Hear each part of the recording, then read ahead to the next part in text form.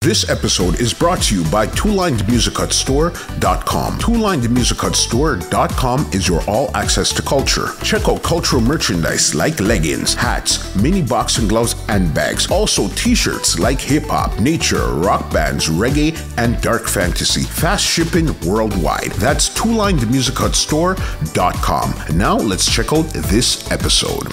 Okay, when you got to Studio One, which other artist was actually at Studio One already at that time, or did you meet at Studio One?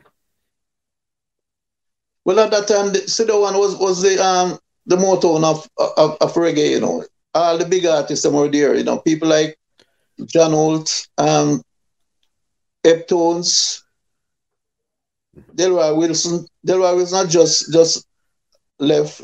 Bob Marley didn't just leave as well because they were saying for lack of payment. Mm-hmm. Yeah, but you had a whole of artists that was there. You have um, you had Freddie McKay. Mm-hmm. You had a young Dennis Brown. When I, I reached here just before Dennis Brown. Okay. And um, Freddie McKay, um, Sleepy Horace Andy. Mm-hmm. All of those artists were, were, were, were, were there because at that time there was an exodus of artists that, that was leaving Coxsone right? And they would go to record for people like Bunny Lee mm-hmm. and other producers, you know, because people were, were leaving because they said of lack of payment. Okay. In those times there, so it was it was a money issue from back then. So they figured the other competition was like Duke Reid and other producers at that time, they're Bunny Lee and those guys. Yes, there was a big competition going on with all those um producers, you know, because um I tell you, one day I, I walk into Randy's uh, record shop mm-hmm. at Parade, and Bob Marley was laying down, was leaning down on the counter. So it's me and Lizzie. Me and Lizzie walk into the shop. Mm-hmm. Bob Marley was was lay, lay, laying on the, on, on the counter with his, his back to the counter. And when we walk past him, he, he, he pass a remarks and say, all you know, boy, you know, fair work for Coxsone, you know, right? If everybody will work for Coxsone, for DEAD and if I go on away. So I said to Lizzie, look, listen to Bob, you know. So we walk past him now and, and go further up to where the, um, the LP record rack is, and we were lamenting amongst ourselves and saying, why Bob really upset with Studio One. Mm-hmm. And anyway, I know we're back out. Bob Bob showed to me and said, Al Capone, and, and there we are talking about but not for work for Coxie, you know, because I'm a thief. Mm-hmm. Well, we said, Mr. Bob, listen. Mm-hmm. Me's a DJ, you know, right? You ride your treasure isle, and if they're not good stable with some good ass there. So me have to find a stable with the ne- next next stable we have some good ass tonight. And the two big stable at the time was Treasure Island and Coxsone. Mm-hmm. So I went to Coxsone because of the rhythms them that Coxsone have.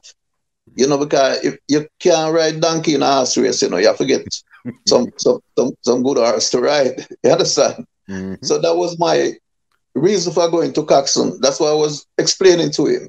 Mm-hmm. You know, so it is what it is. You know, I'm a DJ, mm-hmm. and Coxsone have the rhythm then.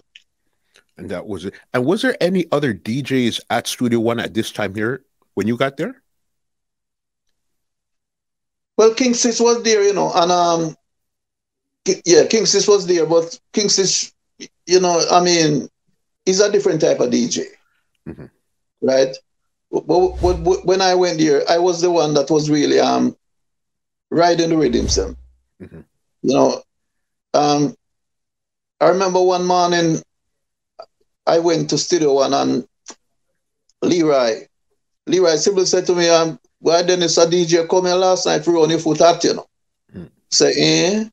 He say, yeah man, a DJ from Spanish Town. Him come record a tune last night. So we say, I wonder which DJ is that. Anyway, it turned out to be Prince Jazzbo. Mm. Right, but this was long after I was there. Jazzbo come and he did a song called Crab Walking mm-hmm. and, and the um Horace Andy Skylarking with him. Mm-hmm big right there. So he was the next DJ that came into the fold, but this was a while while you're at Studio One at this time here already. You already basically established as a DJ at Studio One, and he came in after the fact. Well, I, I left to go on tour 1973 to England. Mm-hmm. Right. Now, my first um, venture out of Jamaica was Guyana, really, 1971 with the Boris Gardiner happening.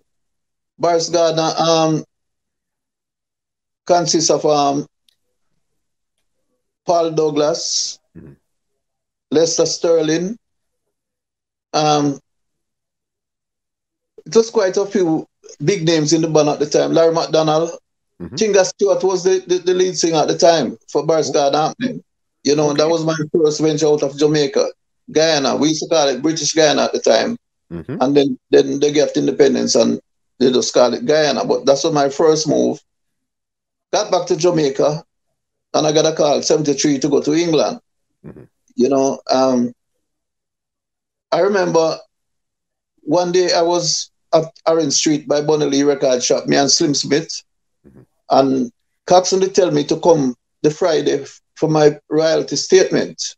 Mm-hmm. So I said to Keith that I'm I'm I'm going by Studio One now. So so Slim said to me, um, Dennis, you can't drop me up the road. So I said, no problem, man. That time I, have a, I had a little car at the time. So I carry him up the up, up the road, drop him off at, at a bar, and he invite me to come and have a drink with him. But I said, Kitty, I don't, I don't want to stop, you know, because when Coxsone say if you come, if you know, it me not give no excuse not to pay me. So I have to go. Him so must come up this evening. Mm-hmm. So I drop off Slim, went to Studio One. When I went there, um, Coxsone asked the, the, the, the, accountant to bring out my royalty statement. Mm-hmm. When he brought out the statement, Coxsone look, look on the statement and said to him, Jackson, what you do? You give my money. So the guy said, What? So dad, you asked me for Al Capone's statement. This is the statement. Mm-hmm.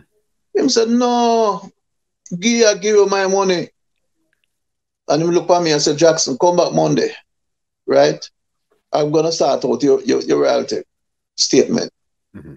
When I went back Monday, him, him, him, fire, him fire the accountant, mm-hmm. sack him.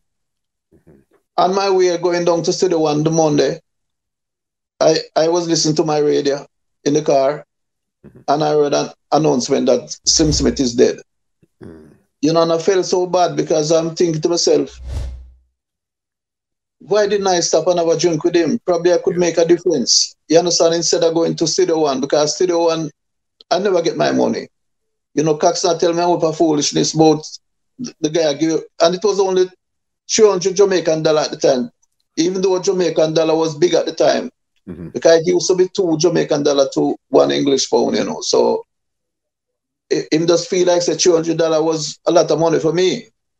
So that that was a story with with, with One. This podcast is brought to you by www.twolinedmusichut.com.